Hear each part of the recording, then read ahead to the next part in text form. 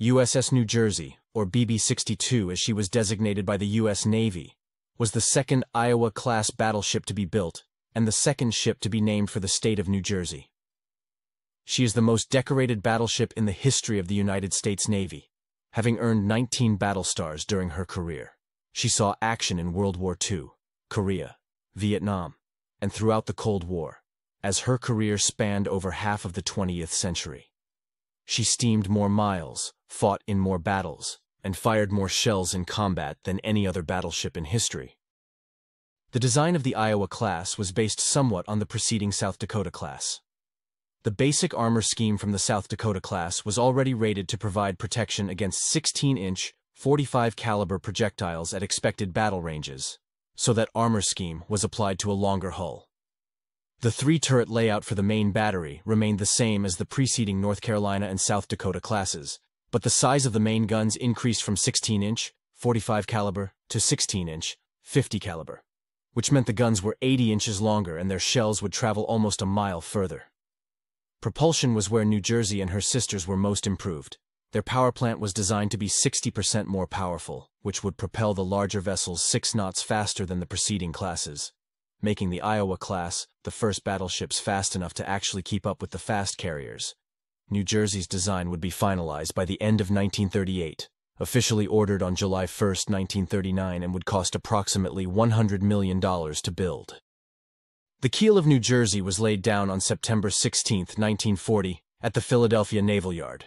When completed, New Jersey would have an overall length of 887 feet and 7 inches, making her the longest U.S. battleship ever built. She had a beam of 108 feet and a full load draft of 37 feet.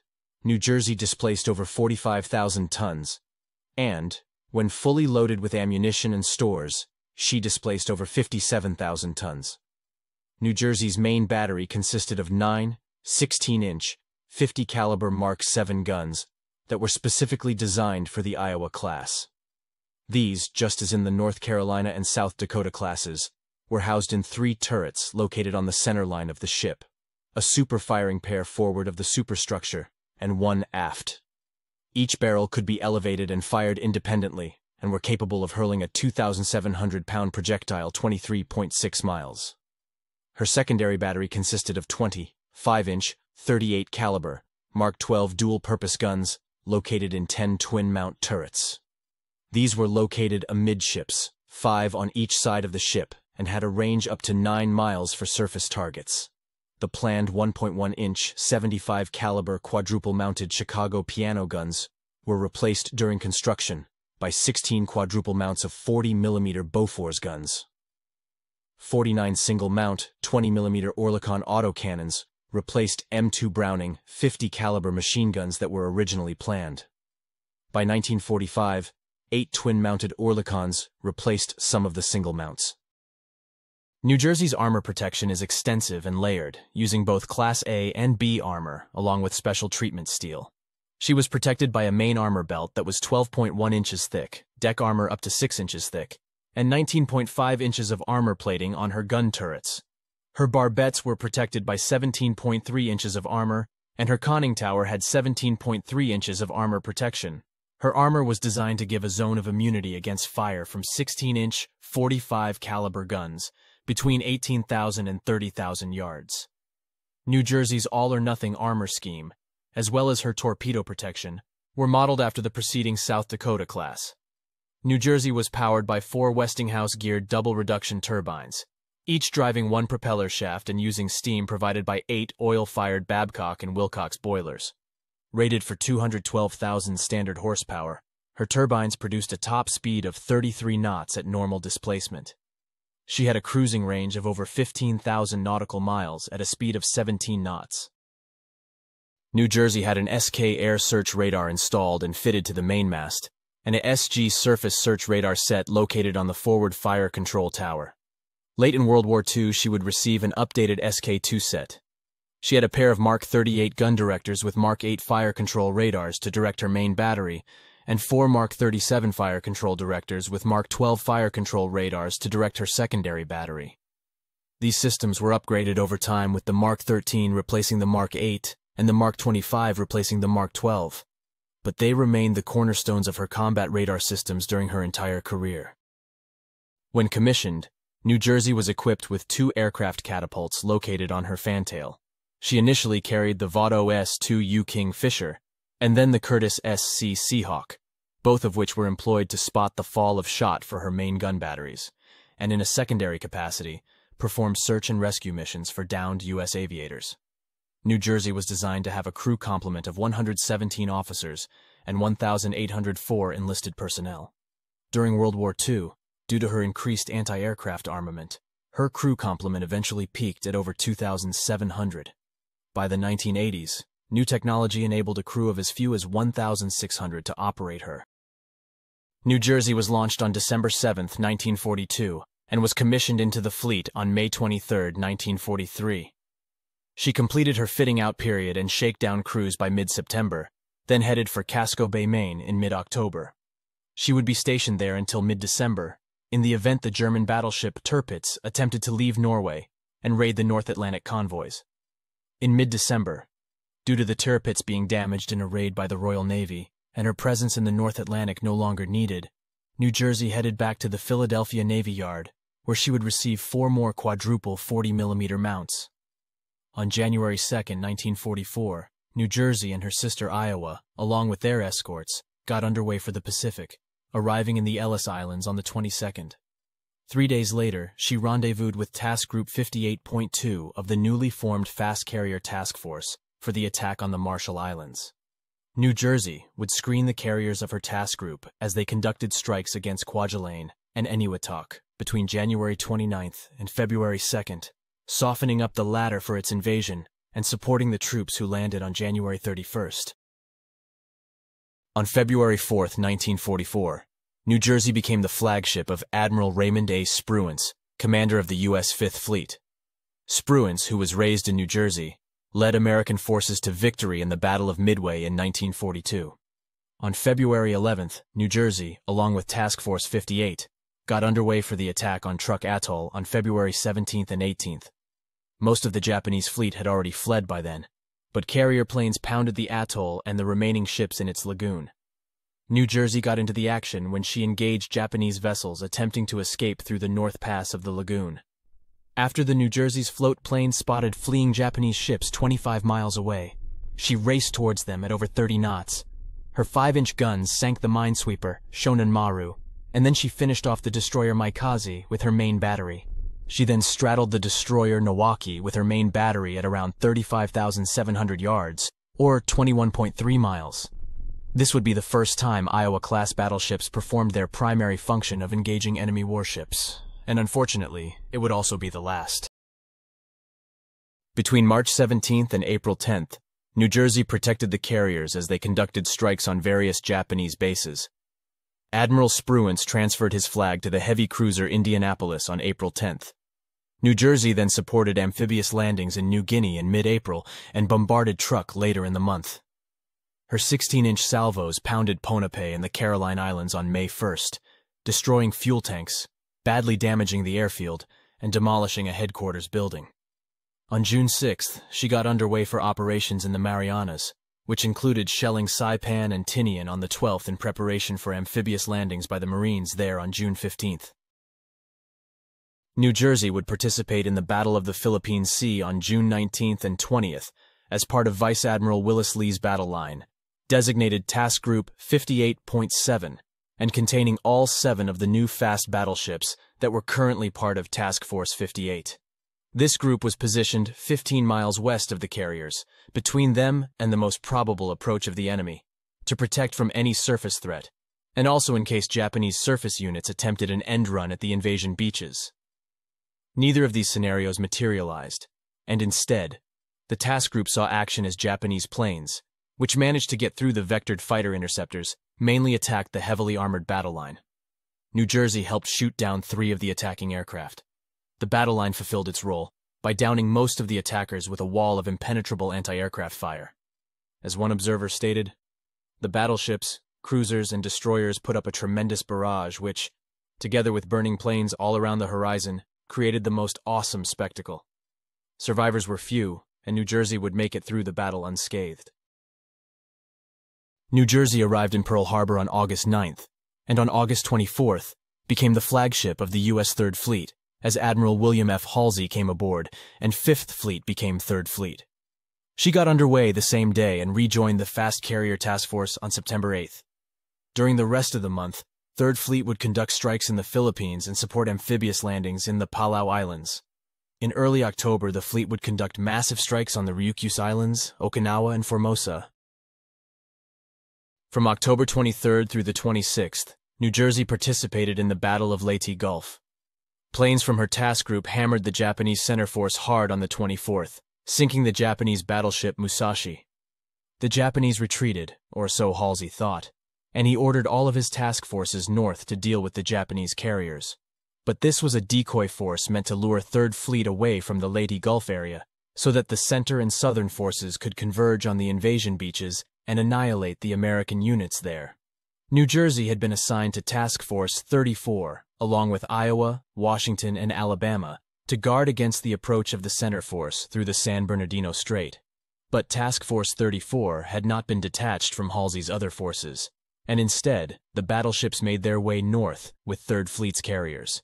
As the carriers struck the northern force, Halsey ordered Task Force 34 to form up, but not to guard San Bernardino Strait, but instead to steam north ahead of the fast carriers and shell any Japanese ships that survived the airstrikes.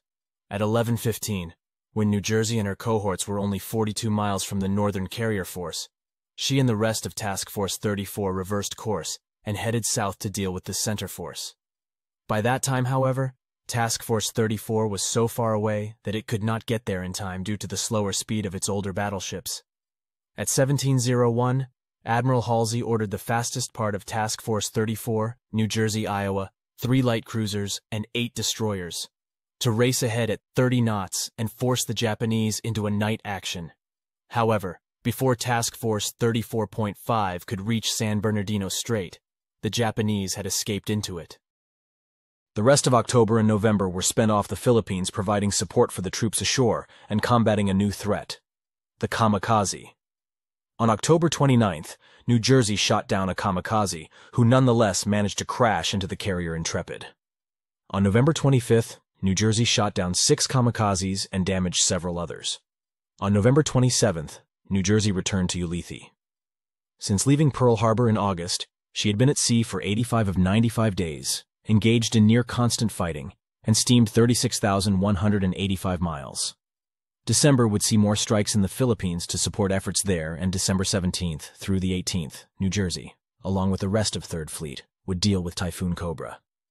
Admiral Nimitz would spend Christmas 1944 aboard New Jersey, marking the first time ever that a five-star admiral's flag was raised over a Navy warship.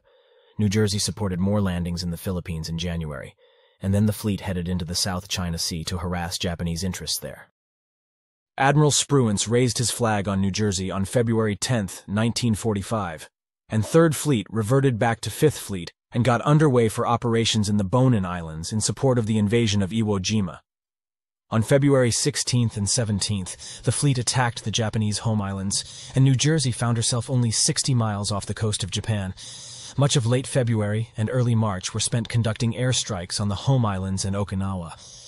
On March 19th, the New Jersey shot down about a half dozen aircraft attacking the carriers, damaged some others, and her float plane rescued a downed carrier pilot.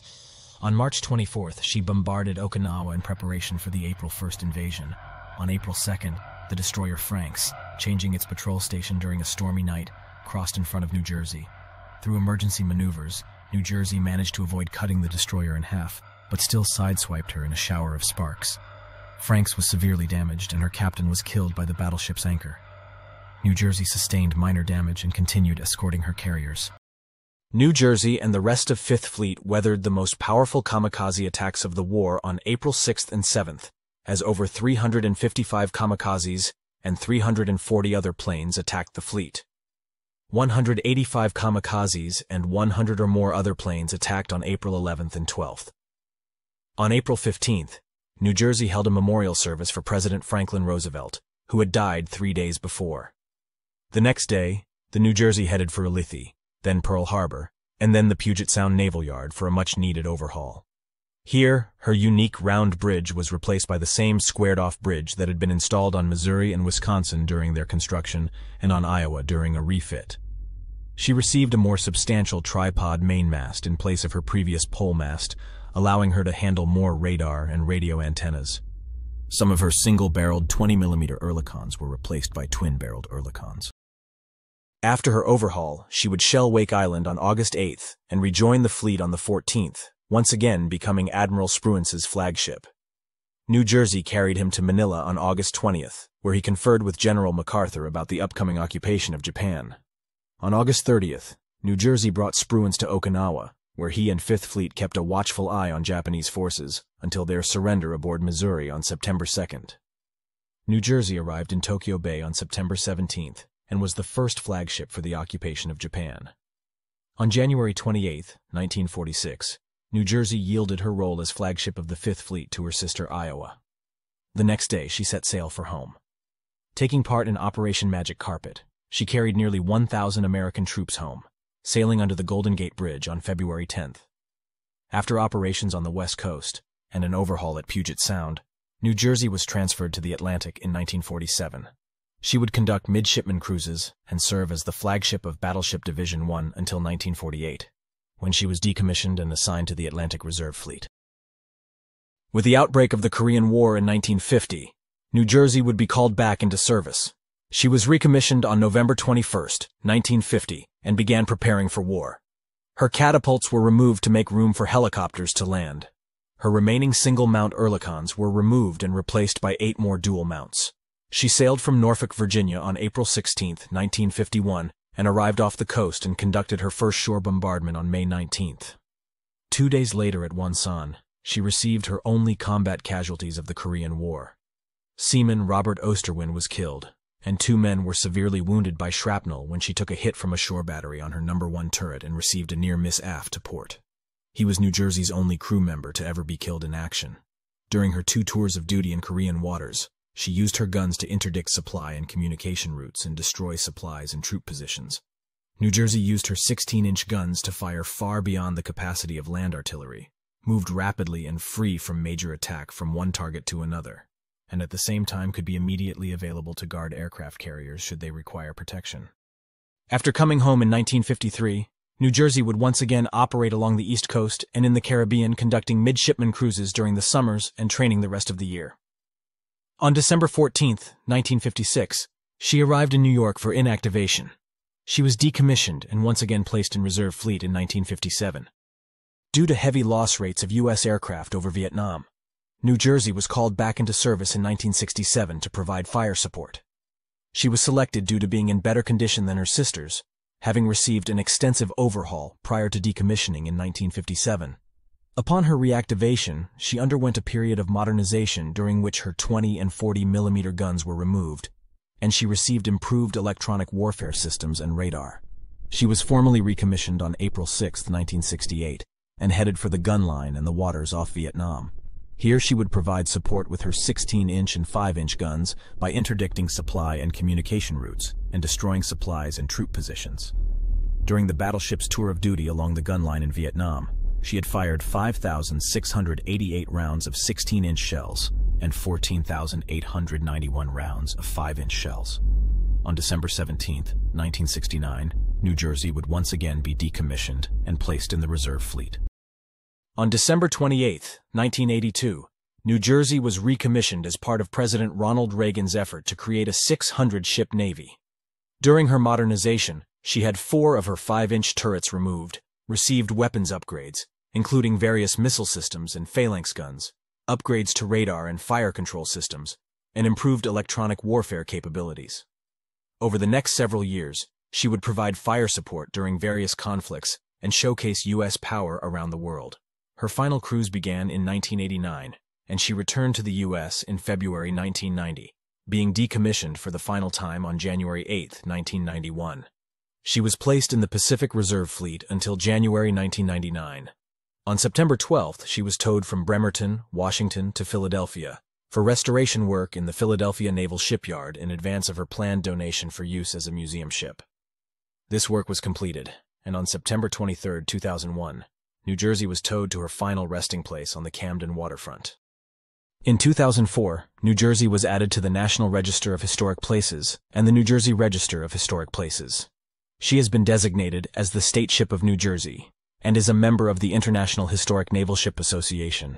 The Battleship New Jersey Museum and Memorial is a living museum with veterans and staff that educate thousands of guests every year. Much of the ship is still in its original 1943 condition, and other areas showcase the upgraded weapons and electronics installed in 1982. Key items of equipment still operate, including sighting devices for the main battery, the three port-side 5-inch batteries, the analog targeting computer, and missile firing displays. The shell hoist, several radio rooms, main radar antenna, and systems in the Combat Information Center have also been reactivated. New Jersey is dedicated as a national memorial to her crews and other Americans who served over her five decades of service. New Jersey, which served longer and with greater distinction than any other battleship, now serves as an unparalleled museum and memorial for all of America's major conflicts from 1943 to 1990. She provided firepower for freedom and is now a monument to freedom for all. Thank you for watching, and if you enjoyed this video, please hit the like button, comment, and subscribe so that we can bring you more insightful content just like this.